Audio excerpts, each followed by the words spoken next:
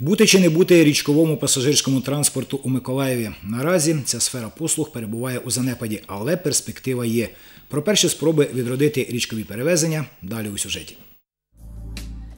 Миколаїв, мабуть, вже й забув, що річкові трамвайчики існують. На кадрі сьогодні можна прогулятися хіба що до малої коренихи та назад. Залишились у нас тільки сонні причали. Втім, враховуючи географічне положення міста, відродити річкові перевезення було б цілком логічно. Саме так вирішив Андрій Могильда і близько місяця тому втілив задум у життя. Придбав американське судно і тепер влаштовує екскурсію вздовж берегів Інгулу та Південного Бугу. Миколаївці одразу позитивно оцінили такі прогулянки. Молодое поколение даже не представляет, как наш город выглядит с воды. Он очень красив в вечернее время, в ночное и даже так в прекрасные виды. Пос- Поэтому надо людям показывать красоту, пусть любят свой город. Андрій Могильда з того покоління, яке ще пам'ятає, як Миколаїв виглядає з води. Добре розуміючи, що в місті, де її стільки, попит на подібні розваги буде обов'язково і придбав перше судно такого типу. Відправив його, так би мовити, на розвідку.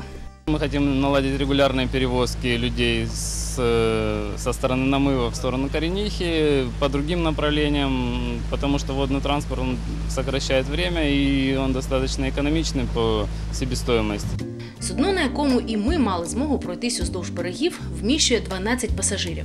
Ця американська розробка має трьохлітровий чотиритактний двигун і розвиває швидкість до 30 км на час. Морською термінологією приблизно 17 вузлів.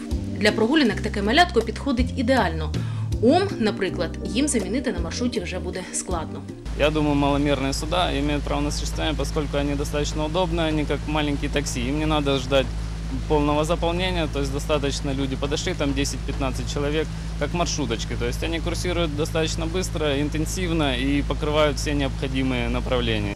Цей перший в Миколаєві річковий трамвайчик зроблено за кордоном, але в подальшому каже Андрій Могильда, він готовий робити замовлення в Миколаєві.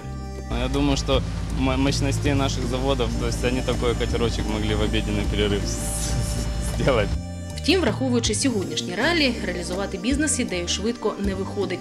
Бюрократію ніхто поки що відмінити не зміг Простые операции с получением документов вырастают в многодневную, да я бы даже сказал, в многомесячную волокиту.